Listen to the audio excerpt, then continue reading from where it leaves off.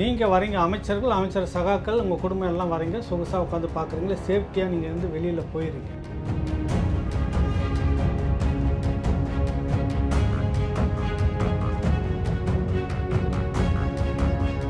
லட்சக்கணக்கில் மக்கள் கூடுவதற்கு யார் பொறுப்போ? அவர்களுக்கு என்ன தேவை என்ன ஆகும்? எங்கே வெளியேறுவாங்க அதுக்கான நிகழ்ச்சிகள் இருக்கிறது முன்கூட்டியே யோசிக்கிறதுக்கு ஒரு அடிப்படை இது கூட உங்களுக்கு இல்லைன்னா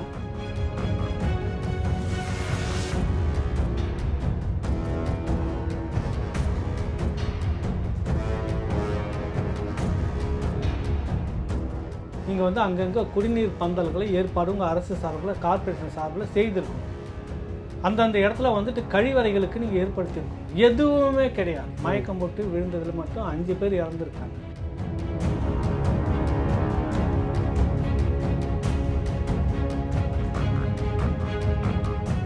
அப்போ நீங்கள் இந்த விஷயத்தில் வந்து ஆதவ அர்ஜுன் வந்து சரியான ஒரு விமர்சனத்தை வச்சிருக்கிறாங்க இந்த மண்ணுக்கு ஏற்ற பொருள். நேற்று நடந்த சம்பவம் யாருக்கு? இந்த மக்கள் இவங்களுக்காக குரல் கொடுக்கணுமா இல்லையா? அதை விட்டு அரசு நியாயப்படுத்தின்னு உட்காந்துட்டு இருக்கிற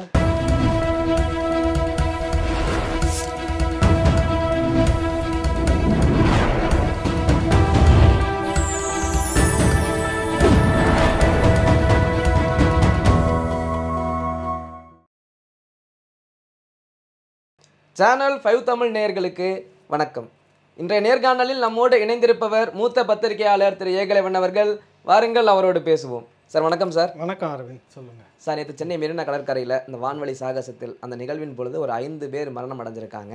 அதற்கு எம்பி கனிமொழி அவர்கள் என்ன சொல்லியிருக்காங்கன்னா இந்த மாதிரி தவிர்க்க முடியாத கூட்டம் கூடுவதை நாங்கள் இனிமேல் தவிர்க்கணும் அப்படின்னு சொல்லியிருக்காங்க. இது உங்கள் கட்சி கூட்டத்துக்கும் பொருந்துமோ?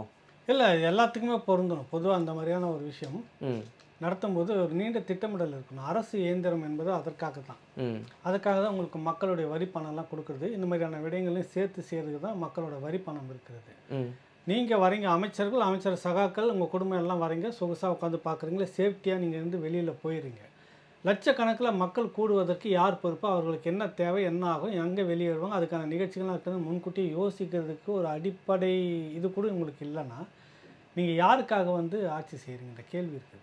எதிர்பார்க்காத அளவுக்கு கூட்டம் வந்துருச்சு. எதிர்பார்க்காத அளவுக்குன்னு இல்லை. கிட்டத்தட்ட பத்து நாளுக்கு மேலாக இந்த விளம்பரம் வந்துகிட்டு இருக்கு. எல்லாரும் சொல்கிறது விமானப்படை இந்த விஷயம் நிகழ்ச்சி முதல்ல சொல்லும்போது பத்து லட்சத்துக்கும் மேற்பட்ட மக்கள் கூடுவது வழக்கம் கூடுவாங்க எல்லா இடத்துலையும் அந்த நடந்துட்டு இருக்குது. இது நூற்றாண்டு நிகழ்வை பற்றி இந்த மாதிரி நடத்துகிறாங்க சொல்லிக்கிட்டு இருக்காங்க எல்லாருமே மக்கள்.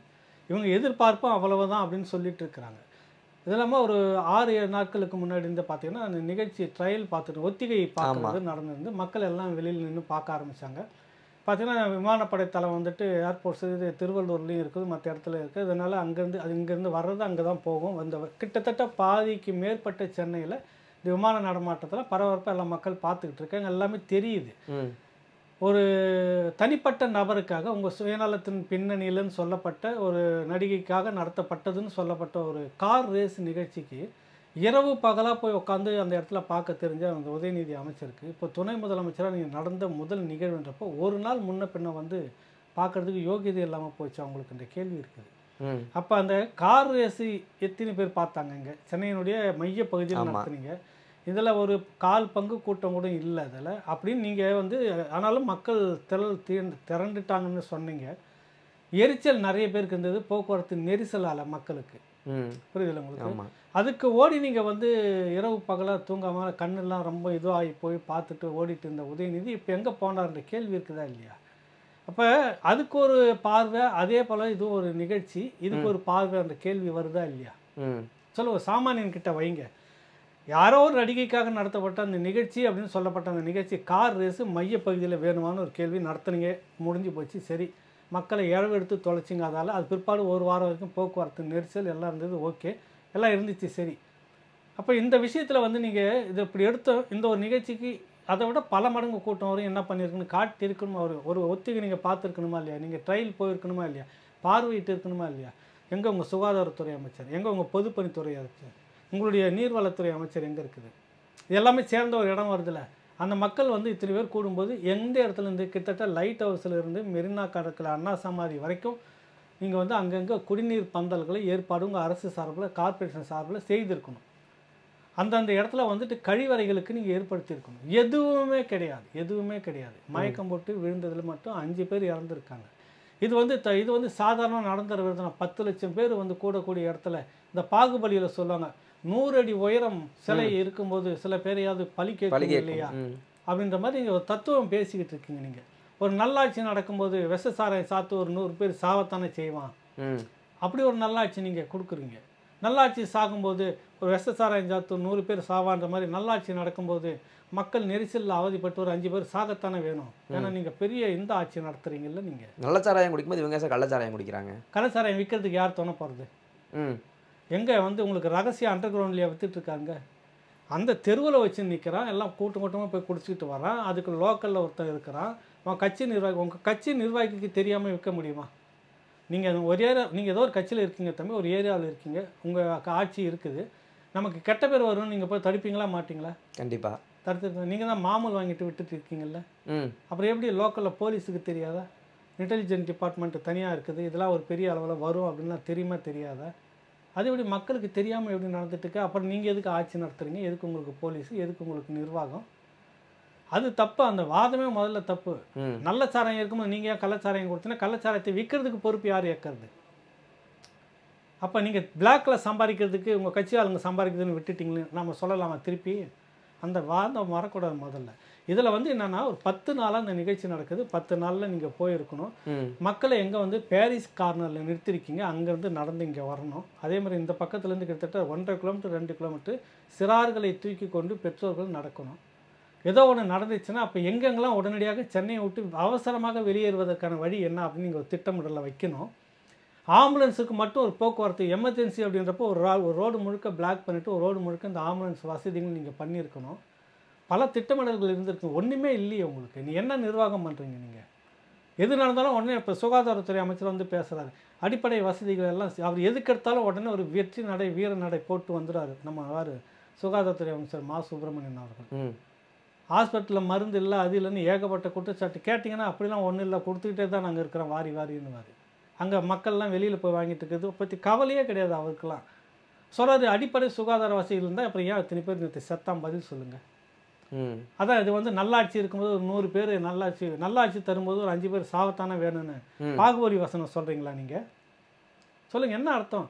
ஆம்புலன்ஸ் வந்துட்டு அங்கே ஒரு லேடி அடிக்கிறது வெளிப்படையாக வந்தது பல இடத்துல வரல. ஒருத்தன் உசுரை காப்புறதுக்கு இல்லை எதுக்குடா இதெல்லாம் சொல்லிட்டு கார்த்துப்புற மாதிரி அடிக்கிறா கண்ணாடியில். அதனுடைய எதிர்ப்பு அப்படி காட்டுறாங்க. ஆம்புலன்ஸ் அவசரத்தில் சீரியஸாக இருக்கிற ஒரு ஆளை வந்து வெளியில் கொண்டுட்டு போகிறதுக்கான வாய்ப்பு இல்லை. மக்கள் கூட்ட நெரிசல் அந்த மாதிரி.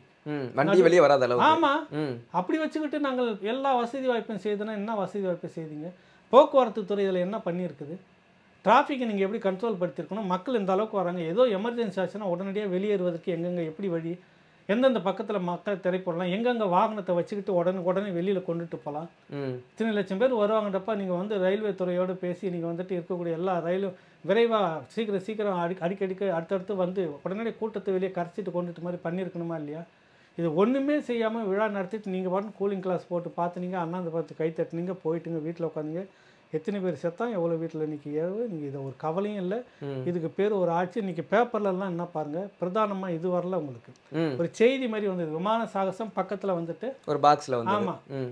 ஜெயகாந்தன் கிட்ட ஒரு பிரபலமான வார இதழ் வந்து பேட்டிக்கு போகும்போது இலக்கியம்ல பெரிய ஜாம்பாவன் சொல்லக்கூடிய அவர். அவர் பச்சையாக சொன்னாராம் ரெண்டு நடிகைகளுடைய இதை வச்சுட்டு நடுவில் ஜெயகாந்தனை தினோடு பொட்டா வைப்பீங்க நீங்கள் அப்படின்னு சொல்லிட்டு ம். இதான் உங்கள் லட்சணம் அப்படின்னு சொல்லுவார். அந்த மாதிரி நீங்கள் பண்ணுறதெல்லாம் என்ன இருக்குது நீங்கள் சொல்லுங்கள் நீங்கள் ம். இப்போ நீங்கள் என்ன கேட்டு கேள்வி கேட்டீங்க நீங்கள் ஐந்து பேர் இறந்துருக்காங்க. இன்னைக்கு த கூட்ட தவிர்க்க முடியாத கூட்டம் கூட்டினா அதை நம்ம வந்து. கூடக்கூடாது இல்லை அது இதுக்கு பதில் நான் இதுதான் சொல்ல வரேன். ம். நீங்கள் என்ன செய்கிறீங்க நீங்கள் புரியுதல்ல நான் என்ன சொல்ல வரேன்னு புரியுது? புரியுது புரியுது. திட்டமிடல் இல்லைன்றது ஒரு பெரிய குற்றச்சாட்டு நீங்க வந்து இது ஏதோ ஒரு விஷயம் இந்த மாதிரி எடுத்து போட்டு பண்றது உங்களுக்கு நான் மட்டும் வேண்டி வேண்டி பண்ணிட்டு இருப்பீங்க. நான் அதை கேட்குற ஒரே கேள்வி பாமரன் கார் ரேஸுக்கு அக்கறை எடுத்துக்கிட்ட மாதிரி இதுக்கு ஏன் நீங்கள் அக்கறை எடுத்துக்கல? ஒரே கேள்வி அதுதான் கேட்குறேன். அங்க நடத்த சொன்னவங்க வேற இங்க நடத்த சொன்னவங்க வேறயோ? அங்க நடத்த சொன்னவங்க மாதிரி இங்க இல்லையோ? இல்லை நான் அதை தான் கேட்குறேன். இங்கே வந்து மத்திய பாதுகாப்பு துறையினுடைய பாதுகாப்பு படைப்பிரிவில் வந்து நடத்துது. அங்கே வந்து யாரோ ஒரு நடிகை பின்னடிக்கக்கூடிய நிறுவனம் வந்து நடத்துது. அவ விளம்பர ஏஜென்ட்டாக இருந்து நடத்துகிறாங்க அப்படின்னு சொல்கிறதெல்லாம் வந்துச்சு. கத்து கற்று பத்திரிக்கையில் வந்தது பேட்டி கொடுத்துருந்தாங்க. அப்போ நடத்த சொல்லக்கூடிய ஆட்கள் உங்களுக்கு சரியில்லையோ? ஒரு மத்திய அரசு நிறுவனம் பாதுகாப்புத்துறை நடத்துதும் அதை ஒட்டி மக்கள் லட்சக்கணக்கில் வருவாங்கன்றது நீங்கள் கண்டுக்காமல் விட்டுறீங்க ஒரு தனிப்பட்ட வந்து சொன்ன உடனே நீங்கள் உழுந்து உழுந்து உட்காந்துட்டு ரோட்லேயே புரண்டுன்னு இருந்தார் அன்றைக்கி மந்திரி. நடந்துச்சா இல்லையா? நடந்ததா இல்லையா நான் சொல்கிறது இங்கே கூட சோறு தண்ணி இல்லாமல் கஷ்டப்பட்டு இருந்தார் உதயநிதி அங்கே. புரியுது இல்லை? இங்கே நீங்கள் என்ன பண்ணீங்க அப்படின்ற கேள்வி வருதா இல்லையா? மக்கள் என்ன உங்களுக்கு அவ்வளோ இலக்காரம் உங்களுடைய சொந்த விஷயம்னா உங்களுக்கு அவ்வளோ இது. நீங்கள் இதில் வந்து அவர் சொல்கிறாரு வந்து நம்ம மாசு சொல்கிறாரு எதுக்கு எடுத்தாலும் வந்து நான் எதுக்கு சொல்ல வந்தேன் அந்த ஜெயகாந்தனுடைய உதாரணம்னா அந்த மாதிரி ஒரு எதுக்கு எடுத்தாலும் நாங்கள் சிறப்பான நடவடிக்கை செய்தோம். மக்கள் தான் வழி விடலாம் நீங்க இறப்புல அரசியல் செய்றீங்க அப்படின்னு சொல்றாரு யாரு? மக்களை நீங்கள் அரசியல் செய்யாதவா? ம். நீங்கள் அரசியல் செய்யாதவா நீங்கள் இறப்பில்? எத்தனை இறப்பில் நீங்கள் பணத்தை வச்சுக்கிட்டு நீங்களே அரசியல் பண்ணீங்க? சொல்லுங்கள் ம். நீங்கள் நீங்கள் அரசியல் செய்யாத ஆளா முதல்ல? சொல்லுங்கள் நீங்கள் அனிதாவை வந்து வச்சுக்கிட்டு அரசியல் பண்ணது யார்? இன்ன வரைக்கும் அரசியல் பண்ணுறது யார்? வெக்கமாக இல்லை உங்களுக்கு நீங்கள் கேட்குறீங்க இன்றைக்கி உங்கள் ஆட்சியில் பன்னெண்டு பேர் அதே மாதிரி அனிதாக்கள் இறந்து போயிருக்காங்க நீட் தேர்வு பாதிப்பால். நீங்கள் அதை வச்சு அரசியல் செய்கிறீங்களா அப்படியே மறைச்சிட்டிங்கல்ல? பேசலைங்களா? ஆனால் உங்களுக்கு தேவைன்றப்ப பிணத்தை வைத்து அரசியல் பண்ணுறது நீங்கள் மட்டும்தான் பண்ணிட்டு இருக்கிறீங்க வேறு யாருமே பண்ணலை. செத்து போயிருக்காங்க. ஏன்னு கேள்வி கேட்கட்டா பிணத்தை வச்சு அரசியல் பண்ணாதீங்க. விட்டுட்டு போங்க. நீங்கள் ஏன் அனிதாவை தூக்கி சுற்றுனீங்க இன்ன வரைக்கும் அனிதாவை சொல்லி தானே ஓட்டை கேட்டீங்க. அசிங்கமாக இல்லை உங்களுக்கு? சாதிச்சிட்டிங்களா நீட் தேர்வில்? கையெழுத்து வாங்கினீங்களே எண்பது லட்சம் பேர் ஒரு கோடிக்கு மேலே கையெழுத்து வாங்கல கொண்டு போய் பிரதமர்கிட்ட கொடுத்தீங்களா இன்ன வரைக்கும்? உதயநிதி ரெண்டு முறை ஓடினாரு முதலமைச்சர் ஒரு முறை போகிறாரு ரெண்டு முறை நீங்கள் போய் கூட்டணும் நீங்கள் சொந்த விழாவுக்குன்ற மாதிரி.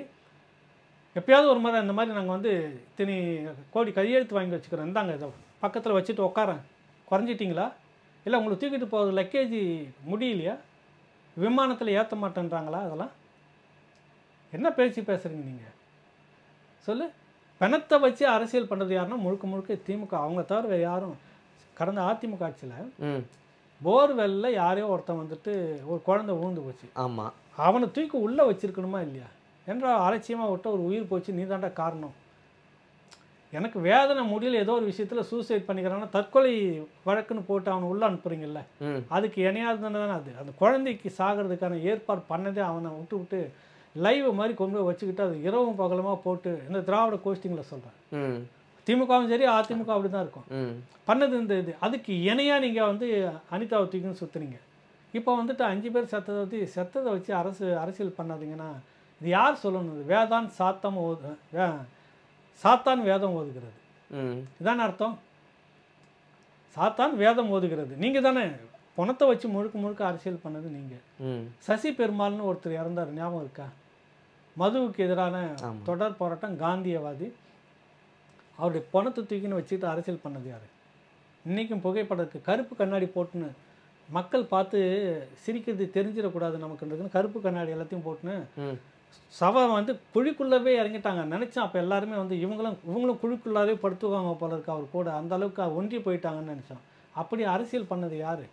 அப்புறம் அதே சாராயங்காய்ச்சி விற்கிற அந்த கம்பெனிகளோட சேர்ந்து நீங்கள் கூட்டணி வச்சுங்கிறது யார் நீங்கள் நீங்களாம் வந்து பார்த்து சொல்கிறீங்க மது வந்து செத்த பணத்தை வச்சு அரசியல் பண்ணாதீங்கன்னு பணத்தை வச்சு ஒரு ஒரு முறையும் அரசியல் பண்ணுறது திமுக தான். மக்கள் அதை பற்றி பாதிக்கிறது வெளியில் சொன்னோன்னா உடனே அதெல்லாம் பேசாதீங்க பணத்தை அப்போ எதை தான் பேச சொல்கிறீங்க எதை தான் உங்களுக்கு வந்து பேசணுமா? இன்னைக்கு க இன்னைக்கு நாளேடுகள்லாம் நான் சொன்னால அதை விட்டுட்டேன் உங்களுக்கு. முழுக்க முழுக்க வந்து பார்த்தீங்கன்னா எல்லாமே இந்த மாதிரி நடந்தது அசம்பாவிதம் அப்படி ஒரு செய்தி மாதிரி கடந்து போகிற மாதிரி தான் போட்டிருக்காங்க. அரை பக்கத்துக்கு விளம்பரம்னா கலைஞர் நூற்றாண்டு பூங்கா இங்கே தான் உங்களுக்கு வந்து அதுதான் முக்கியமான செய்தி இது முக்கிய செய்தி இங்கே தான். வந்து உங்களுக்கு நிற்குதோ விளம்பரம் கொடுக்குறாங்க. கலைஞர் நூற்றாண்டு நினைவு பூங்கா திறப்பான். இதில் லைட்டிங் எல்லாம் போட்டு உடனே டிவில எல்லாம் பார்த்தா தான் இருக்குது. அப்படி ஜொலிக்குதுங்க. கலைஞர் நூற்றாண்டு பேர் அவலன்னு பேர் வச்சிருங்க நேற்று நடந்த சம்பவத்துக்கு வச்சிடுறீங்களா சுடுகாட்டுக்கு மட்டும்தான் ஒன்றும் வைக்கல. கலைஞர் நூற்றாண்டு நினைவு சுடுகாடுன்னு மட்டும்தான் வைக்கல. இதுலேயே இன்னும் ஒரு நூறு கோடியில் கட்டி ஹைடெக்காக இருந்துச்சுன்னா அந்த ப- ஏய் நல்லா இருக்குது இந்த பேரை கூட நம்ம விட்டுறக்கூடாதுன்னு அங்கேயும் போய் நீங்கள் கலைஞர் நூற்றாண்டு நினைவு சுடுகாடுன்னு பேர் வச்சிருவீங்க.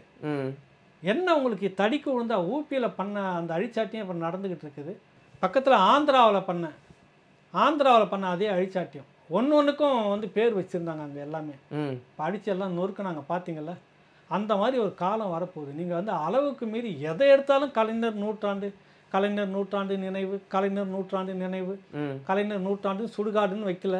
கலைஞர் நூற்றாண்டு பேராவலன்னு நேற்று வச்சுருங்க. இல்லை கலைஞர் நூற்றாண்டு அவமானம்னு பேர் வச்சுருங்க. நேற்று நடந்த அந்த அவலத்துக்கு. வெக்கம் நமக்கு உண்மையிலே வந்து வெக்கப்படணும் மக்கள் எல்லாருமே.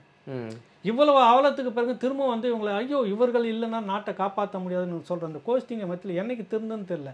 அப்புறம் இந்த மாதிரி தான் சிக்கிப்பட்டு சாவப்பட்டுன்னு அசிங்கப்பட்டுக்கின்னு. அவமானப்பட்டுன்னு உயிரை பலி கொடுத்துட்டு மயக்கம் போட்டு வந்து ஐயோ சி அசிங்கமாக போச்சுன்னு வெளியில் வந்து உட்காந்து புலம்பிக்கிட்டு அப்புறம் ஐயோ இவரை விட்டு ஆளே கிடையாதுன்னு கொண்டு உட்கார வச்சுட்டு அப்புறம் திரும்ப இதே மாதிரி இதே தான் ஓடிக்கிட்டு இருக்கு ஒன்றும் எப்போ திருந்துற மாதிரி இருக்கு? இல்ல இது இறப்பை வச்சு அரசியல் பண்றாங்கன்னு சொல்ற பட்சத்துல இப்படி பண்ணாதீங்கன்னு அமைச்சர் சொல்றாரு மாசு. அதே நேரத்துல கூட்டணி கட்சி விசிகானுடைய துணை பொதுச் செயலாளர் ஆதவர்ஜன் சொல்றாரு.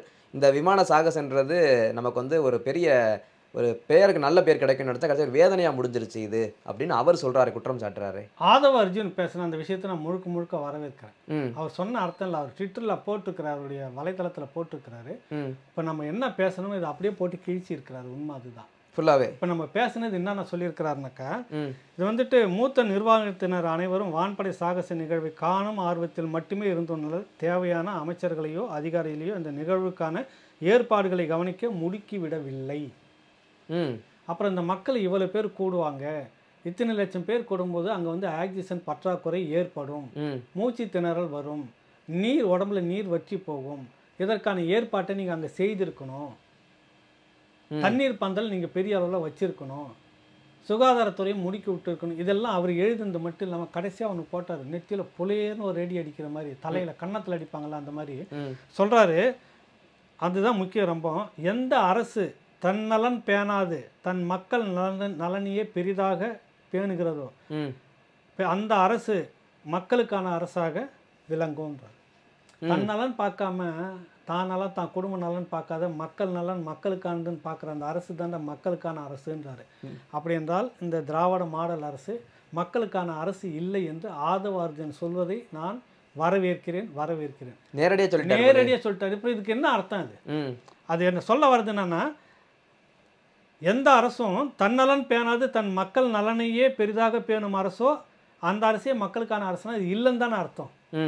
அடுத்தது சொல்றாரு அரசின் கவனக்குறைவால் வான்படை சாகச நிறைவு சாதனை சாதனை நிகழ்வு மறவாமல் வேதனை நிகழ்வாக மாறிவிட்டது. அது எவ்வளோ பெரிய விஷயம்? உயிரை தியாகம் வைக்கிற விஷயம். அவங்க எல்லையில் நின்று போராடுற அந்த விஷயத்தால தான் நம்ம இன்னைக்கு இங்கே வந்து ஊழல் பண்ணிட்டு சொகுசாக வாழ முடியுது. கேள்வி கேட்க ஆள் இல்லாமல் முடியுது. கரெக்டாக அந்த அளவுக்கு நடத்துகிற ஒரு அவங்களுடைய சாகச நிகழ்ச்சியை நீங்கள் வந்துட்டு எந்த மாதிரி மக்கள் மத்தியில் கொண்டு போய் சேர்த்துருக்கணும்? பேசப்படுகிறதா அது?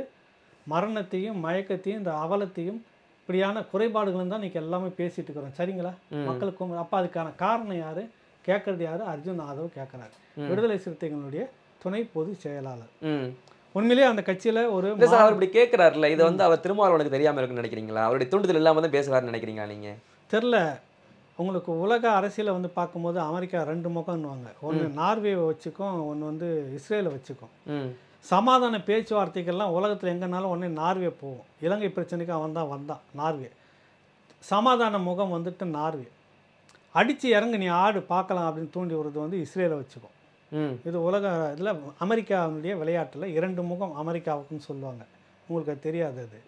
ஒரு அவன் இஸ்ரேல் இறங்கிச்சுன்னா அடி உள்ள ஃபுல்லாக அடித்து தரமட்டமாக்கி கூட்டி குமிச்சிட்டு வந்துடுவான் உயிரையும் சரி மக்களையும் சரி கட்டடத்தையும் சரி. இவர் போய் சமாதான பேச்சுவார்த்தை நடத்தி எதனா சுமூகமாக பண்ண முடியாதுக்கு அந்த மாதிரி அடித்து இறக்குது இஸ்ரேல் மாதிரி வந்துட்டு ஆதவ அர்ஜுனை வச்சிருக்கிறாரு. இல்லை இல்லை நாங்கள் எப்பவுமே உங்கள் கூட தான்ற மாதிரின்னு பார்க்குறப்ப வன்னி அரசு கோஷ்டி ரவிக்குமார் கோஷ்டி அது வந்து சமாதான முகம் நார்வே முகம் அது. இது வந்து இஸ்ரேல் முகம். எங்கே எது தேவையோ அதை பயன்படுத்திக்கலாம். இப்போ வந்து இஸ்ரேல் வந்து இப்படி சொல்லிடுச்சா? உடனே இல்லை இல்லை அது வந்துட்டு இப்படிலாம் இல்லை இது சமாதான மோகம் நாங்கன்னு உடனே பின்னாடியே வந்து ரவிக்குமார் வன்னி அரசு அதுக்குன்னு ஒரு கோஸ்டிங் இருக்காங்க. அவங்க வந்து இப்படிலாம் அந்த அரசை சொல்லக்கூடாதுன்னு அவங்களுக்குள்ளே விமர்சிக்கும். சமாதானப்படுத்தி ரெண்டுக்கும் இவர் உட்காந்துட்டு வேடிக்கை பார்த்துட்டு இருப்பார் தோழர் திருமாவளவன். இவர் அமெரிக்கா.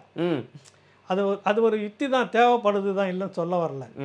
ஆனால் உண்மை என்னன்னா ஆதவ அர்ஜுன் சொல்கிறது தான் மக்கள் ஏற்கிறாங்க. இதுதான் எங்களுக்கு வேணும். நான் அடிபட்டும் போது அதுக்கு வந்து மருந்து போடுற மாதிரி வார்த்தைகளை எவன் சொல்கிறானோ அவன் தான் எவன் எவன்கானவன் எனக்கானவன் சொல்கிறது தான் இருக்குது அதை விட்டுட்டு இல்லை இல்லை அடியே படலை ரத்தமும் வரலாம் வேஷம் போட்டுங்கிறான் அவனுக்கு வலிக்கவே இல்லைன்னு சொல்லிட்டு எதிர்குரல் எழுப்புறவன் வந்து என்ன பண்ணுவாங்க? துப்பி ஓரம் கட்டி ஒதுக்கிடுவாங்க. அந்த மாதிரி அந்த நார்வே முகங்கள் போயிடும் ஒரு காலகட்டத்தில். அதான் நடக்கும். மக்களுடைய பிரச்சனைகளை தொடர்ந்து பேசுறவன் தான் மக்களோட நிற்க முடியும். அவனுக்கான அங்கீகாரம் கிடைக்கும். இல்லைன்னா கிடைக்காது இது அப்போ நீங்கள் இந்த விஷயத்தில் வந்து ஆதவ அர்ஜுன் வந்து சரியான ஒரு விமர்சனத்தை வச்சிருக்கிறார். கம்யூனிஸ்ட்டுகள் என்ன சொல்லிக்கிறாங்கன்னா இந்த நிமிடம் வரையில் இன்னைக்கு நம்ம வந்து அடுத்த நாள் சம்பவம் நடந்து அடுத்த நாள் மதியம் இதை எடுக்கிறோம். கரெக்டாக இது. வரைக்கும் அவங்க கிட்ட இருந்து வந்ததா தெரியல. பொதுவாக கூட்டணி கட்சிகள்ன்றது வந்துட்டு மக்களுக்காக தான். கூட்டணி வந்து என்னுடைய வாக்கு உங்களுக்கு உங்களுடைய வாக்கு எனக்கு. என்னுடைய உழைப்பு உங்களுக்கு உங்களுடைய உழைப்பு. அதோட முடிஞ்சு போச்சு. அதுக்கு பிறகு மக்களுக்காக யார் நிற்கிறாங்களோ அவங்க தான் பேசப்படுவாங்க. ஆனால் கூட்டணி கட்சி வச்சுட்டோன்றதுக்காக காலம் முழுக்க கோபாலபுரம் வாசலே அறிவாலயம் வாசலையே உட்காந்துட்டு இருந்தால் அதுக்கு பேர் கூட்டணி இல்லை அப்படின்னு மக்களுக்கு நல்லாவே தெரியும். இந்த மாதிரி விஷயத்துலலாம் இறங்கி நின்று பண்ணணும். மருத்துவர் ராமதாஸ் இது வந்திருக்கு. இப்போ கம்யூனிஸ்டும் காங்கிரஸ் அப்படி தான் இருக்குன்றீங்களா? கம்யூனிஸ்டும் காங்கிரஸும் அப்படி தான் இருக்கா? ஆமாம் நான் அப்படி சொல்லலை. நீங்கள் அப்படியே எடுத்து மக்கள்கிட்ட கொண்டு போகிறது உங்கள் விஷயம் எனக்கு தெரியாது. அவங்க கோபாலபுரத்துக்கிட்டே கோல் பிடிச்சிட்டு உட்காந்துட்டு இருக்கிறாங்களா? ம். இல்லை மக்களுக்கான குரலாக கொடுத்துட்டு அப்பப்போ வந்து மக்களுக்கான இதை பண்ணுறாங்களா மருத்துவர் ராமதாஸ் குரல் இங்கே வெளியில் வருது. இது நடந்தது அநீதின்னு சொல்லிட்டு. ஆமா.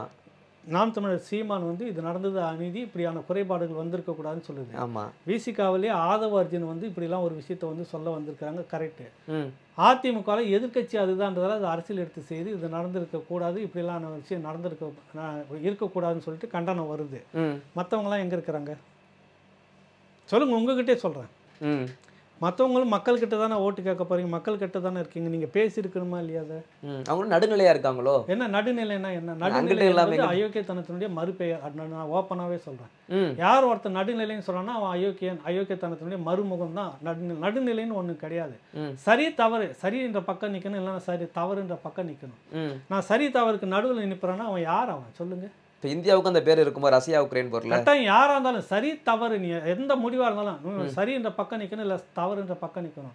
சில பேர் இருப்பாங்க உங்களுக்கு முழுக்க முழுக்க வந்து பார்த்தீங்கன்னா அது வந்து என்னன்னா இதை வந்து கெட்டிக்காரத்தனம்னு சொல்றாங்களே அப்படி ஒன்று கெட்டிக்காரத்தனமும் கிடையாது. எதில் கெட்டிக்காரத்தனம்? சரி இப்போ தரி சரி தவறுன்னு சொல்ல முடியாத ஊடகம் என்ன ஊடகம் நான் கேட்குறேன் நெஞ்சுக்கு நேரம் நிறுத்தி தவறுனா நானே தவறு செய்தேன்னா தவறு செய்தேன்னு ஒத்துக்கிறேன். இல்லைன்னா இல்லை அப்படின்னு சொல்லிட்டு மறுக்கணும். ரெண்டுக்குமே இல்லாமல் இது வந்து சரி தவறுனாக்கா நான் நடுவில் நிற்கிறதுல அது ஏமாற்று வேலை மோசடி. நீ உண்மையின் பக்கம் நிற்ப தயங்குகிறாய் என்ற பொருள்.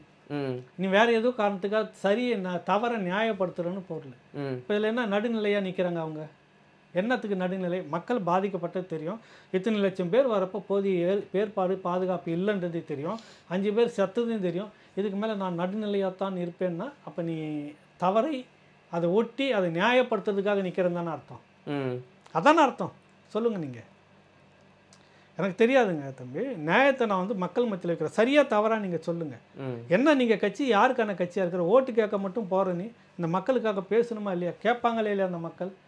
கேட்குற நாள் வரும். நீங்கள் கொடுக்குற ஆயிரம் ரூபாய் மட்டுமே போதும்னு நம்பிக்கிட்டே அரசியல் பண்ணக்கூடிய காலகட்டம் மாறாமலாம் இருக்காது. எப்படிப்பட்ட விஷயங்கள்லாம் சாஞ்சி போயிருக்குது. அது கம்யூனிஸ்ட் புரட்சியாளர்களுக்கே தெரியும். என்ன கம்யூனிஸ்டே ஒரு காலகட்டத்தில் தன்னை மறுபரிசீலனை செய்துக்கிட்டு இனத்துக்கேற்ற அரசியல் தான் அங்கங்கே அப்படின்னு சொல்லி காலகட்டம் ரஷ்ய வீழ்ச்சிக்கு பிறகு வருது. அந்தந்த மண்ணுக்கேற்ற அரசியல் அப்படின்னு ஒரு குரல் வந்துச்சு அப்புறம். அப்போ இந்த இப்போ இருக்கக்கூடிய இந்த அரசியல் இங்கே என்ன நடக்குது? இந்த மண்ணுக்கேற்ற குரல் நேற்று நடந்த சம்பவம் யாருக்கு? இந்த மக்கள் இவங்களுக்காக குரல் கொடுக்கணுமா இல்லையா? அதை விட்டு அரசை நியாயப்படுத்தின உட்காந்துட்டு இருக்கிற. அரசுக்கிட்ட பணம் இருக்குது பொருள் இருக்குது அதிகாரம் இருக்குது உழவும் இருக்கும்போது அது சரியாக பயன்படுத்தலைன்ற கேள்வி வந்திருக்கணுமா இல்லையா உங்களுக்கு? இல்லை எங்ககிட்ட நிதி இல்லை. அதனால் நான் உட்காந்துட்டு இருக்கிறோம். எப்போவோ செத்து போன உங்கள் அப்பாவுக்கு. நீங்கள் அதிகாரத்தில் வந்தோன்னே சுடுகாடு கட்டுறதுக்கு தொண்ணூறு கோடி ஒதுக்க தெரியுது. எப்போவோ செத்து போன உங்கள் அப்பாவுக்கு. இப்போ நீங்கள் அதிகாரத்துக்கு வந்து மூணு வருஷம் கழிச்சு பேனாவை நட தெரியறதுக்கு காசு இருக்குது எண்பது கோடி தொண்ணூறு கோடி. இந்த மக்களுக்கு ஒரு ஒரு அதிகமாக போனால் ஒரு பதினஞ்சு இருபது கோடி உட்காந்துட்டு இந்த தண்ணி செலவெல்லாம் ஏற்பாடு பண்ணுறது மட்டும் உங்களுக்கு குறைஞ்சி போயிடுதா? நிதி இல்லையா? ஒரு ஒரு முறையும் சொல்கிறீங்க ஒரு சொட்டு தண்ணியே நிற்காதுன்றீங்க அப்படின்னு கேட்டால் நாங்கள் பர்சன்டேஜ் சொன்னோமா அப்படின்றீங்க. ஆறாயிரம் ஆறாயிரம் கோடி சுத்தமாக செலவு முடிஞ்சிச்சு இன்னும் ஒரு பத்து சதவீதம் தான் புள்ளி விவரத்தோட சொன்னீங்க நீங்கள் உங்களுக்கு பேரே புள்ளி விவரம் தான் வைக்கும் எதுக்கு எடுத்தாலும் புள்ளி விவரம் பர்சன்டேஜ் எல்லாம் சொல்லுவாங்க. இத்தனை தண்ணி எல்லாம் நிற்காது இனிமே ம். மழைக்காலத்தில் அப்படின்னு பார்த்தா மிதந்துட்டே கிடக்கும் போட் வாங்கியிருக்காங்களே புதுசா? வாங்கி போட்டெல்லாம் ஏன் நீங்கள் ஆறாயிரம் கோடி செலவு பண்ணி கழிவு நீர் வெளியே போகிறதுக்குலாம் எல்லாத்தையும் பண்ணிட்டீங்கன்னா மழை நீர் வெளியே போகிறதுக்கு பண்ணிட்டுனா போட் ஏன் தம்பி நீங்கள் வாங்கணும் சொல்லுங்கள் ஏன் அதில் என்ன நடந்துச்சு. வேற அதில் அதில் எதனா கை வச்சுக்கிறீங்களான்னு தெரியாது எனக்கு. அதெல்லாம் இனிமேல் எடுத்து போட்டு ஆர்டிஐயில் வாங்கணும். ஏன்டா போட் வாங்குனீங்க? எவ்வளோ தெருதுக்கு வாங்குனீங்க? அதனுடைய கொட்டேஷன் எவ்வளவு? அப்புறம் இன்ஜின் வாங்கி வச்சுருக்கீங்க. நீங்கள் தான் வந்து இத்தனை ஆயிரம் கோடி நாங்கள் செலவு பண்ணிட்டோம். இதுக்குன்னு ஒதுக்கின கோடி இருந்துச்சு. கடந்த முறை மழை வெள்ளத்தின் போது பேசுனாங்க. கரெக்டா ம். பேசுனாங்க. அவர் இப்போ பார்த்தா நீங்கள் புள்ளி விவரமாக சொல்லிங்கிறீங்க. ஒரு சொட்டு நிற்காதுன்றீங்க இத்தனை சதவீதம் வேலை முடிஞ்சிச்சு இன்னும் கொஞ்சம் பாக்கி இருக்கிறது. இதற்காக நாங்கள் போட்டு என்னென்னவோ சொல்கிறீங்க நீங்கள் இதுக்கு ஒரு உதாரணம் என்ன சொல்கிறதுனாக்கா அண்ணா இருந்த காலகட்டத்தில் வந்துட்டு எதிர்க்கட்சி தலைவராக ஒருத்தர் இருந்தார். நல்ல பேர் அவர் பேர் மறந்துட்டேன். திமுக வந்த புதுசு எதுக்கெடுத்தாலும் இந்த மாதிரி புள்ளி விவரமாக முன்னாடி இப்படி இருந்தது பின்னாடி இப்படி இருந்தது பர்சன்டேஜ் போட்டு. பர்சன்டேஜ் புள்ளி விவரமாக அடிச்சு விடுவாங்க. இப்போ விட்டுட்டு இருக்கிறாங்கல்ல. அப்போ அப்போ எவ்வளோ விட்டுருப்பாங்க பார்த்துக்குங்க அப்போ அவர் பார்த்தா என்னடா பெரிய இம்சையாக இருக்கு இவங்க கூட சேர்ந்துட்டு ஒரு டைம் எழுந்து என்னன்றாரு. தமிழ்நாட்டில் மொத்தமே ஒன்னே முக்கால் கோடி காகம் இருக்கிறது. காக்கா ஒன்னே முக்கால் கோடி காலம். ஏன்னா வந்து இந்த மாதிரி உடனே இவர் எழுந்து கேட்குறாங்க கலைஞர் தரப்புலேருந்து. அது எப்படி நீங்கள் வந்து இவ்வளோ இதுவாக சொல்ல முடியும்? அப்படின்னு கேட்குறாங்க எப்பா நான் எதிர்க்கட்சியாக இருக்கிறேன். எனக்கு இருக்கிற அதிகார பலத்தை வச்சு எனக்கு தெரிஞ்ச ஒரு இதெல்லாம் வச்சு நான் எண்ணி பார்த்ததுல ஒன்றே முக்கால் கோடி வந்துச்சு நீ தான் அரசு நடத்திங்கிற வனத்துறை உங்ககிட்ட இருக்குது உங்ககிட்ட படைபலம் இருக்குது நிர்வாகம் இருக்குது. நீ சரியாக எண்ணி சொல்லி பாரேன். அப்படின்னுட்டார். ம் புரியுதுல? எப்படி பேக் அடிச்சாருன்னு சொல்கிறது அந்த விஷயம் இருக்குல்ல? எப்படி வந்துட்டு திருப்பி அடிச்சாரு அப்படின்ற ஒரு விஷயம். அது பிற்பாடு யாருன்னா புள்ளி விவரம் சொல்லியிருப்பான்றீங்க. அதிகாரம் இல்லாத என்கிட்ட நான் கணக்கு எடுத்து நான் எனக்கு தெரிஞ்சுப்பா. ம். ஒன்றே முக்கால் லட்சம் வந்துருச்சு. ஒன்றே முக்கால் கோடி காக்கா இருக்குது தமிழ்நாட்டில். எனக்கு என் அளவில் நான் சொல்கிறேன் நீங்கள் தான் சரியான ஆட்சியில் இருக்கீங்களா? அதிகாரம் இருக்குது நீங்கள் என்ன சொல்லலாம் அப்படின்றாரு. என்ன நீ பதில் சொல்லுவதுக்கு? அந்த மாதிரி இவங்களுக்கு இப்போ போடுறதுக்கு ஒரு ஆள் இல்லை. எதுக்கு எடுத்தாலும் புள்ளி உரம் சொல்லி இந்த புள்ளி உரத்தின்படி நாங்கள் வா- உடனே பார்த்தா இப்போ சொல்கிறாரு சரி இப்போ இந்த மாதிரி இந்த மெரினா பீச்சில் நடந்ததுக்கு வாகனங்களை வச்சுருந்தோம் ஆம்புலன்ஸை வச்சுருந்தோம் எல்லாம் எங்கே போச்சு? நீங்கள் எங்கே இருந்தீங்க? இவ்வளோ மக்கள் திரள்ற இந்த இடத்துல சுகாதாரத்துறை அமைச்சர் அவங்க டீம் எங்கே இருந்துச்சு? நீங்கள் சொல்லுங்கள் எங்கண்ணா. சும்மா சொல்லுங்களேன். எங்கே இருந்துச்சு? எனக்கு தெரியல. உண்மையிலே தெரியாமல் தான் கேட்குறேன். சத்தியத்துக்கும் தெரியாமல் கேட்குறேன். இவ்வளவு பலம் வாய்ந்த சுகாதாரத்துறை லைட் ஹவுஸ்லேருந்து மெரினா கடற்கரை வரைக்கும் நீங்கள் எங்கெல்லாம் உங்கள் கேம்ப் இருந்துச்சு சொல்லுங்கள் முதலுதவி கேம்ப் உங்களுடைய எங்கெல்லாம் வச்சுட்டு இருந்தீங்க? எங்கெல்லாம் வேன் தயாராக இருந்துட்டு உடனடியாக வெளியில் மருத்துவமனைக்கு போகிறதுக்கான வசதி வாய்ப்புகளோடு நீங்கள் இருந்தீங்க? அந்த வண்டி எங்கெங்கெல்லாம் நிறுத்தி வச்சிருந்தீங்க? படத்தோடு நீங்கள் போடுங்க இப்போ. போடுங்க மன்னிப்பு கேட்கலாம் எல்லாருமே மக்கள். சரி இவ்வளோ வசதி வாய்ப்புகள் செய்துட்டு பிற்பாடு இதெல்லாம் செயல்படாமல் போனதுக்கு காரணம் மக்கள் நெரிசல் தானே? அந்த நெரிசல் கட்டுப்படுத்துவதற்கான திட்டம் இல்லாமல் நீங்கள் எப்படி நிகழ்ச்சி நடத்துனீங்க? சொல்லுங்கள் எதுக்காவது ஒன்று நீங்கள் பொறுப்பேற்றிருக்கீங்களா எது எடுத்தாலும் எனக்கு தெரியாது நான் வெளியூர் நான் நிலா எனக்கு தெரியாதுன்னு சொல்கிற மாதிரியே சொல்லிட்டு இருந்தீங்கன்னா எத்தனை காலத்துக்கு சொல்லிட்டு இருப்பீங்க? தமிழ்நாட்டில் நடக்கிற எந்த அசம்பாவத்துக்கும் எனக்கு தெரியாது எங்களுக்கு இதுக்கும் சம்மந்தம் இல்லை. அது வேறு நாட்டில் நடந்தது. நாங்கள் விழாவை மட்டுமே தான் கொண்டாடிட்டு இருப்போம். இப்படியே இருந்தீங்கன்னா என்ன அர்த்தம் உங்களுக்கு? ஏன்னா உங்களுக்கு இப்போ இடித்து உரைக்கிற மாதிரி மெத் மத்தியிலையும் கிடையாது. மத்தியில் கிட்டத்தட்ட சமரசத்துக்கு போயிட்டாங்க. தொண்ணூற்றி ஒம்பது சதவீதம் முடிஞ்சிருச்சுன்ட்டாங்க. அதை சொல்லி பேசி தான் மகனுக்கு உடனடியாக பதவியேற்பு நிகழ்ச்சி நடத்தியாச்சு. திமுக பாஜக மோதல் அப்படின்லாம் சும்மா ட்ராமா இவங்க அறிக்கை கொடுத்துக்குவாங்க. ஒன்றும் தெரியாமல் இங்கே. அங்கே வந்து முழுக்க முழுக்க சுமூகமாயிடுச்சுன்னு நிறைய பேர் சொல்லிட்டாங்க. ஆக மத்திய அரசு இதெல்லாம் கேள்வி இனிமேல் கேட்காது. நீ ஆடு தம்பி பார்த்துக்கலாம். நீ யாரை வேணாலும் தூக்கி உள்ளே வச்சுக்கோ பார்த்துக்குறோம். நீ என்ன வேணாலும் செய்துக்கோ நாங்கள் பார்த்துக்குறோம். அப்படின்ற மாதிரி அவங்களும் வந்துட்டாங்க கிட்டத்தட்ட. அதனால இவங்களுக்கு கேட்க இங்கே ஆள் இல்லை. எதிர்க்கட்சிக்காரங்க கேட்டாங்கன்னா அவங்க மேலே ஒரு பழி. இந்த மாதிரி பத்திரிக்கை ஊடகங்கள் யாருன்னா கேட்டாங்கன்னா அவங்க மேலே ஒரு போடு. எதனா ஒன்று போட்டு ஒரு கேஸு. இப்படி தான் ஓடிட்டு இருக்க ஒழிய ஒரு பாசிசத்தை நோக்கி உச்சக்கட்டமாக நகர்ந்துட்டு இருக்குது. ஏன்னு கேட்டால் அவன் மேலே வாதிஞ்சு அவன் மேலே அது அதுக்குன்னு ஒரு கூட்டம் வச்சுட்டு இருக்குது. புரியுதில்ல? இந்த விருதுக்கும் வாரியத்துக்கும் வாக்கப்பட்ட கோஷ்டின்னு ஒரு கோஷ்டி இருக்குது தெரியுமா உங்களுக்கு? தமிழ்நாட்டில்? விருந்துக்கும் விருதுக்கும் வாரியத்துக்கும் வாக்கப்பட்ட கோஷ்டின்னு ஒரு கோஷ்டி இருக்குது ம். தெரியுமா உங்களுக்கு? இந்த கோஷ்டினோட உடனே கிளம்பி வரும். அவன் மேலே யாராவது ஒருத்தர் இந்த மாதிரி பேசினா இப்போ சேர்த்த வாரி அடிக்க வேண்டியது. அதை பார்த்து அவங்க விசில் அடிச்சுன்னு பின்னாடி உட்காந்துட்டு இருக்க வேண்டியது. அதுக்கு அந்த ஆளுங்கட்சியினுடைய அதிகாரத்தில் இருக்கக்கூடிய சிலங்களாம் இருக்காங்க. கல்ல காக்கி சட்டை வெள்ளை சட்டைலாம் இருக்குது வரும் ஒரு நாள் வரும். அம்பலமாகும். அதுங்களாம் சேர்ந்து பின்னாடி இருந்து "ஆ, நீ பேசு பண்ணு எல்லாம் பண்ண. ஒன்றும் என்கிட்ட மெட்டீரியல் இருக்கு தரவா பேச ம். இப்படி பேசி மடம் மாற்றி கொண்டுட்டு போயிடுது இந்த விமானம் இந்த விம- சாகச நிகழ்ச்சி இந்த பேரவலம் மக்கள் சிக்குது. இதில் வந்து பெரிய அளவில் சிக்கப்பட்டது இந்த அரசு மரணம் இதுக்கான விமர்சனம். இதெல்லாம் பேசக்கூடாது. அப்படியே மடமாத்தின அந்த பக்கமாக அது மறந்து போயிடும். ஆமாம் அதுக்குன்னே ஒரு கோஸ்டிங் இருக்குது தெரியுமா உங்களுக்கு? அதுக்கு பேர் வந்துட்டு வாரியத்துக்கும் விருதுக்கும் வாக்கப்பட்ட கோஸ்டிங் அது. ரெண்டுக்குமே வருமா? ஆமாம் வாக்கப்பட்ட கோஸ்டினே பேர். இந்த ஊருக்கு வாக்கப்பட்டு வந்திருக்க அந்த பொண்ணுன்னு சொல்லுவாங்க. அது நே அதுக்கு அந்த அதான் இனி அந்த அந்த பொண்ணு அந்த பொண்ணு அந்த ஊர் தானே? ஆமாம் அந்த மாதிரி இனி அவங்க அப்படி தான் வாக்கப்பட்ட கோஸ்டினே பேர் அது. அவர் இதெல்லாம் நம்ம பேசினோன்னா இவன் மட்டும் நான் யோக்கியமான ஒரு பெருசாக எதனா கதையை எடுத்து விட வேண்டியது. இதுதான் எது பொழப்பா போச்சு உங்களுக்கு? நான் சிலது பேசாமல் இருக்கிறேன். நிறைய பட்டியல்லாம் இருக்குது. ஒரு நாளைக்கு பேச வேண்டிய அவசியம் வந்தால் பேசுவோம். மக்களுக்காக பேசணும் மக்களுக்காக செயல்படணும். ம் இன்னைக்கு இருக்கிற விஷயம் இதெல்லாம் பார்த்தீங்கன்னாக்கா கலைஞர் நூற்றாண்டு நினைவு பூங்கா. இதுதான் இன்றைக்கி நாட்டில் வந்து நடுவில் வந்து நொச்சிட்டு இருக்குது அவங்களுக்கு. கிடக்கிறது கிடக்கட்டும் கிழவியை தூக்கி நடுவில் வை மனையில் வைன்னு சொல்லுவாங்க கிராமத்தில் பழக்கம். கிடக்கிறது கிடக்கட்டும் கிழவியை தூக்கி மனையில். மனையில் வை அப்படின்னுவாங்க. ம். நீ என்ன பண்ணுற இருக்கிற பிரச்சனையெல்லாம் விட்டு விட்டு உனக்கு கலைஞர் நூற்றாண்டு நினைவு எனக்கு இது மட்டுமே தான் வாழ்ந்தாகணும். வேறு எதுவும் வாழக்கூடாது எங்கள் நாட்டில். எங்கள் அப்பா பேர் மட்டுமே நிற்கணும் வானத்துக்கும் பூமிக்கும். புரியுதில்ல இதுக்கெல்லாம் ஒரு பழப்பு. மக்கள் இன்னும் வந்துட்டு விழிப்புணர்வு வரணும். பல்வேறு கேள்விகளுக்கு பகிர்ந்தமைக்கு ரொம்ப நன்றி சார். தொடர்ந்து பேசுவோம். ரொம்ப நன்றி தம்பி. வணக்கம்.